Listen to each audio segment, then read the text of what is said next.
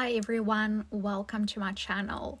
This is an old book cover that I want to turn into an ephemera storage book, but as you can see over there, I've managed to damage the spine of this book when I took out the pages. And although I think if I have some bookbinding supplies like bookbinding cloth and tape, I would be able to fix up the spine but I since I want to turn this into an ephemera storage book I think that spine might be slightly too small for me and I think I'm going to benefit by having a bigger spine. So I've decided in the end to get rid of the spine but I'm going to keep the two covers because I really love the red border around it and also that gold embossing on the spine and I want to and keep that and preserve that original part of the book. And then the rest I'm going to cover up with some images. So today I'm planning on building up my own spine. And to do this I'm going to use a old box that I've got.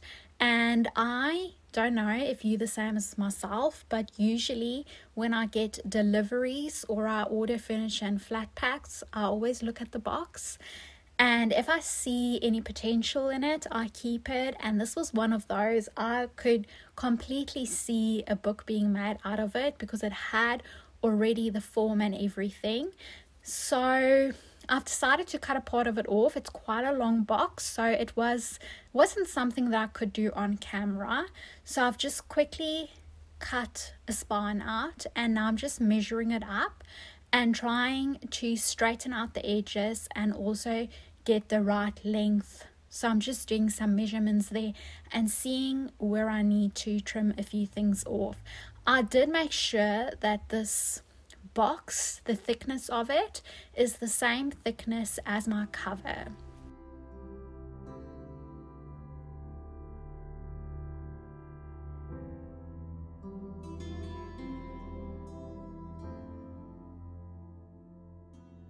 So I'm just now at this stage using a utility knife and I'm just cutting off all of the um, edges and straightening it up. You could also use a paper trimmer if you would like to, but I find that my craft mat and because of the thickness of this cardboard it's just easier using a utility knife. I've got a smaller one as well but i wouldn't recommend that that i usually use. It's i think an X-Acto knife. It's not really meant for this type of work. That smaller one is more for paper. So i'm using something that is slightly bigger and sharper to help me to cut through all of these covers. I'm also just straightening out the edges of these covers because I did a very quick cut and they weren't completely straight so I'm just straightening everything up and measuring it just having it roughly so I can work out properly.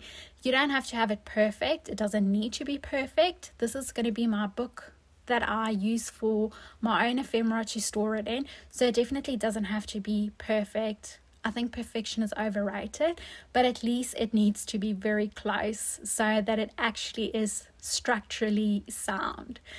So now that I have straightened up everything and I'm quite happy with how it looks, I have cut out a few pieces from my fabric. And again, you could use some bookbinding supplies like bookbinding cloth and bookbinding tape to make sure that it sits in a professional manner and it's nice and strong. But those kind of supplies are quite expensive and also not everybody's got those things at home. So today I'm just using normal fabric that I've bought from a fabric store. You really don't need anything fancy. You can make these books with things that you've got at home.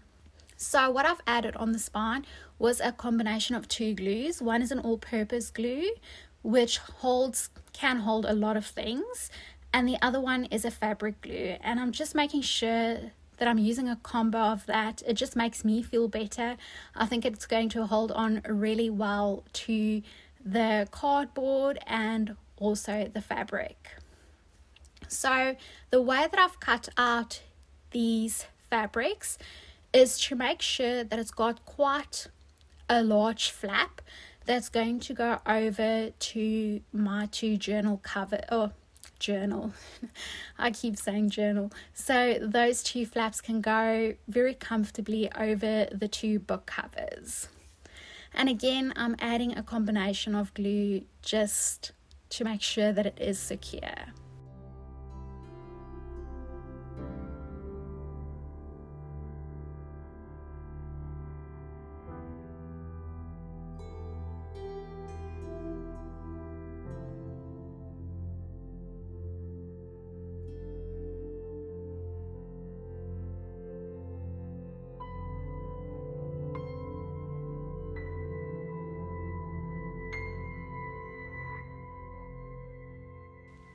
Then I'm just using my hands and rubbing everything out.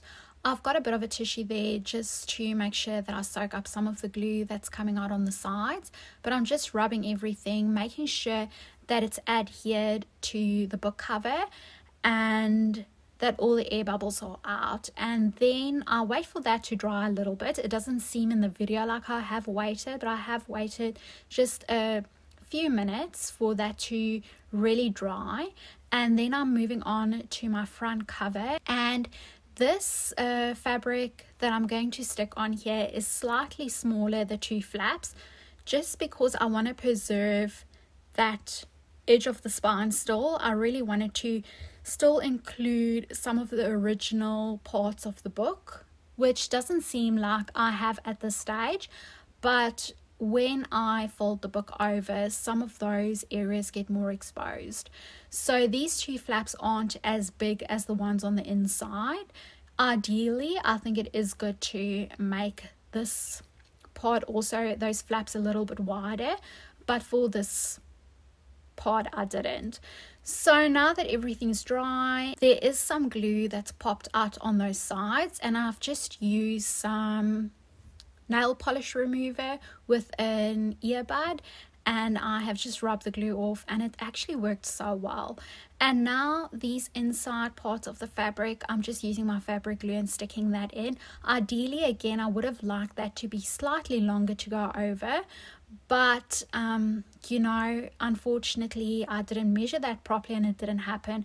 But I'm still happy with the way that it sits. I've been using this book for the past week and it's not come loose and it's still folded over and it's it's really not giving me any trouble so I'm keeping it the way it is and now I'm going to decorate the front cover. You will see that the light is slightly different. I've decided to switch off my ring light because there was a lot of reflection from the cover and I was scared that that's going to be a little bit bothersome if you watch it. And I'm going to decorate this cover with printables from 49 Dragonflies and I have a discount code for you today if you would like to shop with her.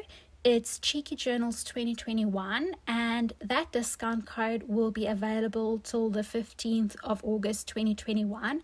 So, if there's anything that you have seen that you wanted to pick up, I think now would be a good time to do it.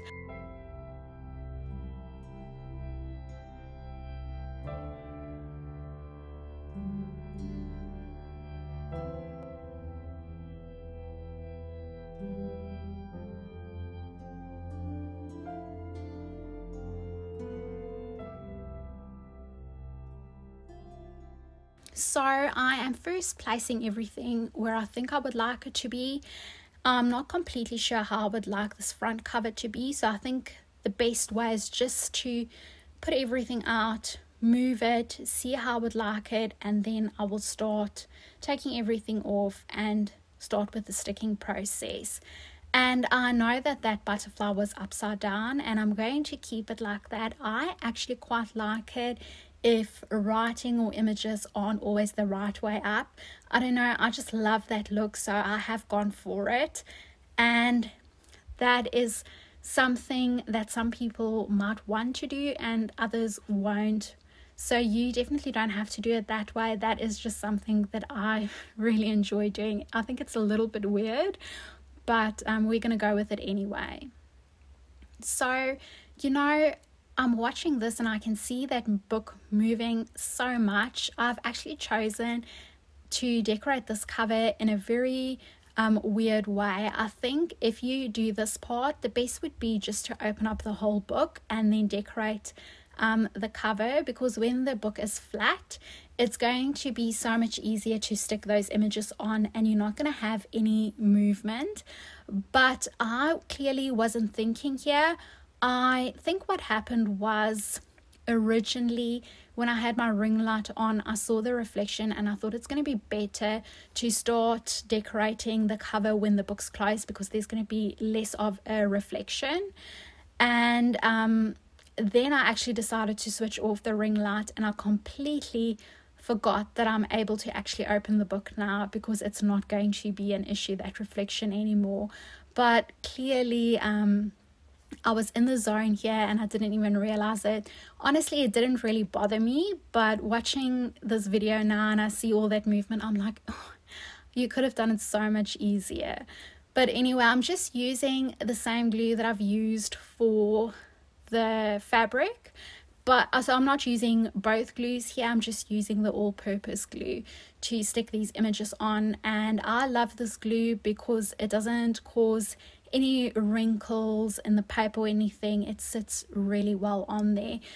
And now I'm pulling out some distress ink and this splatter stamp and I'm just adding a few more things to this ledger paper and making it slightly more interesting. I think I, yes, I end up stamping it three times and I think that's going to look really well with the mushroom and you just see those splatters peeking out. And now I'm moving on to the focal image and I'm just making sure that this is how I would like it to be. All these images on the front cover is um, from 49 Dragonflies except that doily. And I'm not quite sure about this shoe, how I would like it to be. But I do know that I want to include it because in the top right corner, I've already got that white paper in there. So you can really see the white and the black standing out. And I think I need another color like that on this cover for it to work. So I want to include it. I'm just not sure how I want to include it yet. And to bring in more of the black, I'm using some black ink and I'm just doing small splatters on this front cover. So I've just waited for that ink to dry and now I am ready to continue on. I have decided how I would like to stick that shoe and now I'm going to stick down the cheesecloth. So if you are new to junk journaling, you might wonder when I talk about printables what it is. Some people will call it printables, Others will say digis or digital kits. And basically, what it is is a creator making printable ephemera or digital ephemera. So they make these digital ephemera by either scanning in old images or papers that have no copyright. They can also purchase images on the internet through certain websites, but you have to make sure when you purchase it that you've got a commercial license with that. Or you search the internet for images that's in the public domain, and then you will use some type of program like Photoshop or any one of those programs. You get quite a few of them, so you have to do your research on that. And then you create your, you use those images and the things that you've got, and you create your own little ephemera or digital kit. And you will usually sell that as a JPEG or a PDF file or there's a few other files that you could save it in as well. It depends on whoever's creating this digital ephemera. And then they will upload it on their private websites or Etsy stores, and the public can purchase these digital files and they can print it at home on your own printer. It's a really economical and a very comfortable way of getting ephemera. And I think what's lovely about it is that you can print usually print it out as many times as you would like to and you can use it in different projects. So you could use the ephemera to make book covers like decorate a book cover like i'm doing now can make tags out of the ephemera journaling cards it's really nice to use the ephemera in a few different ways, have a few different opportunities to see what you can do with it. Compared to ephemera that you purchase from a store, you can only use it once in your project and then it's finished. If you want to use it again, you have to go buy another pack.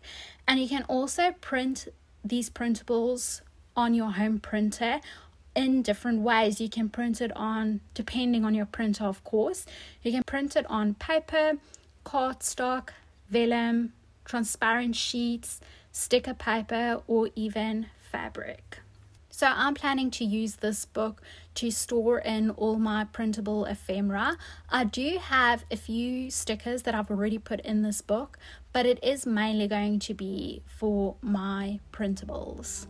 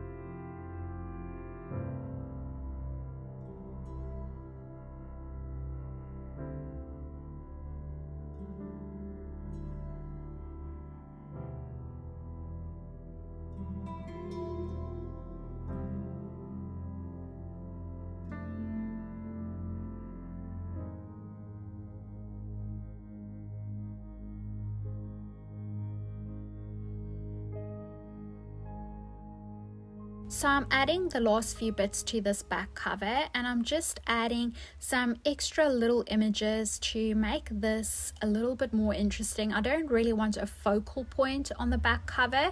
I just want a few little images that stand out from the background.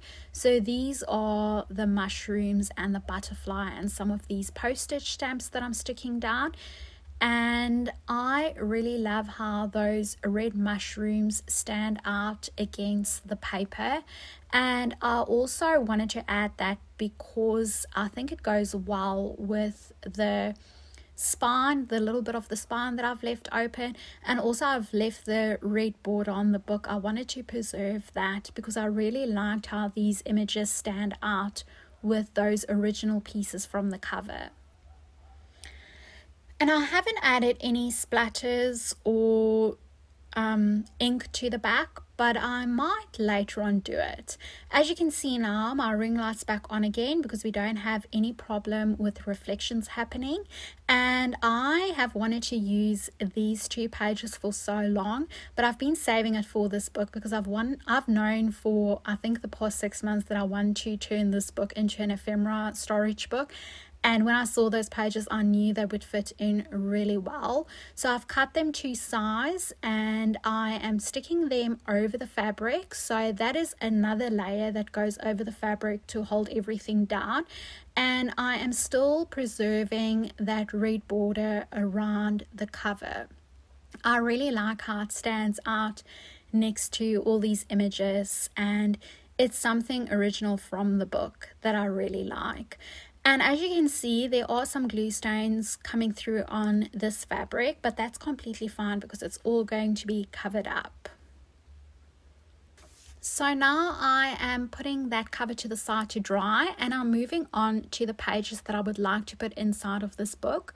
And I have this huge atlas with big paper in and this is the only paper that I could find that would actually fit into my book that I'm making. I first wanted to use music paper that but that was way too small. So I have torn out a few of these pages and I'm just folding it in half and now I am cutting off the excess paper that's going to hang out of the book. So my book is 24 centimeters by, let me just check. It's 24 centimeters in length and 18 and a half centimeters wide. So I'm just making sure that my paper is going to fit into the book. So I've cut the width and then I've put all the papers together in the signature over there and I have there will be slightly an overhang and I've just trimmed that off as well. And now we're moving on to the pockets. I'm using tracing paper because I want it to be see-through and I've cut out three different pockets. I've got this pocket that is 22 and a half centimeters in length and 7 centimeters wide and I'm just sticking that on the side with some of the fabric glue that I've got I find the fabric glue works the best because it doesn't really cause any wrinkles in the paper and I'm adding very very little glue. If you add too much I don't know the tracing paper just goes all yucky. So adding just a little bit to keep it in place it doesn't have to sit it's this is not going to be the main thing holding it. I'm still going to put it through the sewing machine. That's going to be the main hold. This is just to hold it in place so i can put it through the sewing machine. So i'm sticking the pockets in different ways on the page.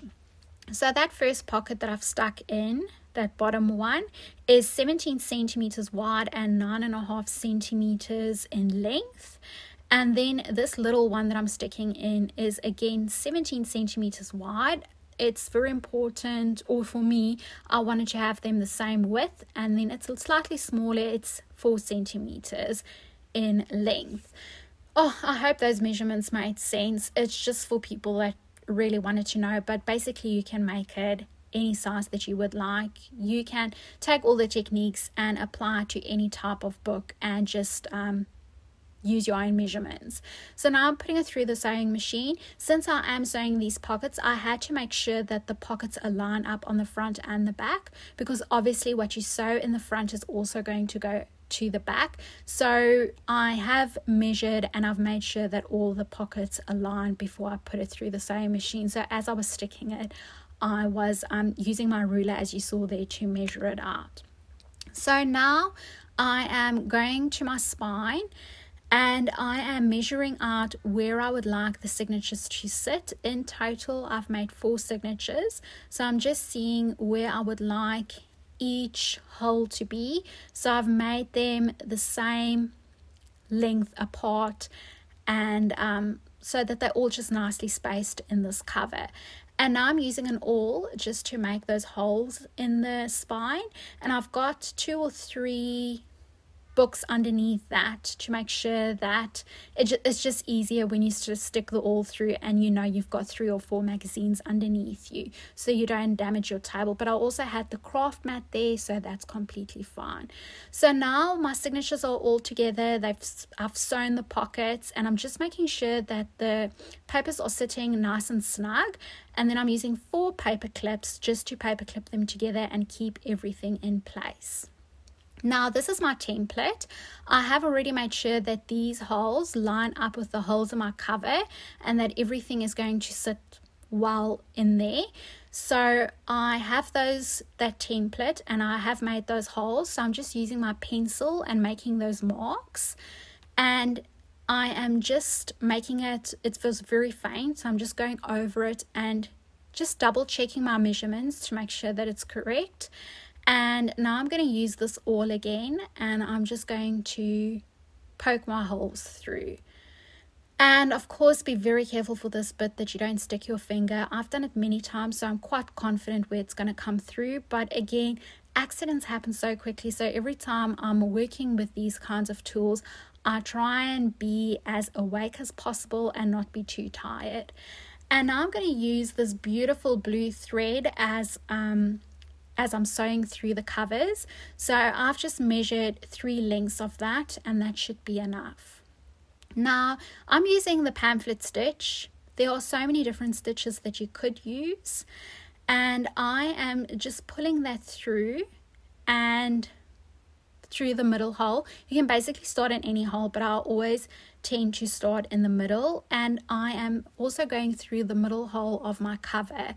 And the only thing that you need to make sure is that that little piece in the middle is not going to go through. So I'll always pull that and just make sure that I've got a a decent amount of it still there in the middle. And now I'm going through the top hole. It doesn't really matter which one you go through. You can also go through the bottom one. And at this stage, I'm not pulling the signature tight to the cover. You don't really have to do it. It's just unnecessary. It's quite hard to line up the holes of the signature to the cover so you can keep it loose at the end we will make sure that we pull everything taut and that it sits there um, nice and comfortably and that you don't have too much movement. But for now, we can just leave it as it is and make it easier for ourselves. So I'm going back through the middle hole and then I'm going to do the same with the signature, go through the middle hole. I am sorry if the way that I'm turning the book um, is quite distracting, but I've turned it many different ways to make sure that you can actually see what I'm doing and that my hands aren't in the way because it's quite difficult to film this part. So now I'm pulling off the paper clips and that is just to make sure that the papers can move around and that I can pull everything straight and also tight. So i have just pulled and made sure that everything is tight. I've looked on the outside of the cover to see if the string is tight over there as well. And now I'm just pulling each each string so it's on either side of the string that's flat in the spine and then I'm just doing a double knot and that is basically it. My first or my second signature is in and I have off camera done the rest of the signatures because I've done it exactly the same way. And this is the end result. In these four signatures I have roughly put some of my ephemera in already in four different categories in the first signature, I've got some botanicals. So these are plants and flowers and any botanical thing. So a bit of flora and those types of ephemera I've placed in here, like mushrooms, anything that fits with that. And I'm still busy adding some of my printables. It is quite a big job, so I've just roughly done a few to show you how it looks. And then in the second signature, I've got some vintage printables. And then in my third one, I'm going to, which you'll see shortly, I'll have labels, tickets, words, and numbers. And then in the last signature, I'm going to have any type of animal printables like any insects, butterflies, birds, those types of things. So this is very roughly I've set up this ephemera book. I'm going to keep it like this for now and see how it works. And if I'm happy with it, I will be making some tabs and labeling those things so I can find those images easily. But I first want to see how it's going to work out. And that's my ephemera storage book. Thank you so much for watching this video. I hope you've enjoyed it and I'll see you in my next one. Bye.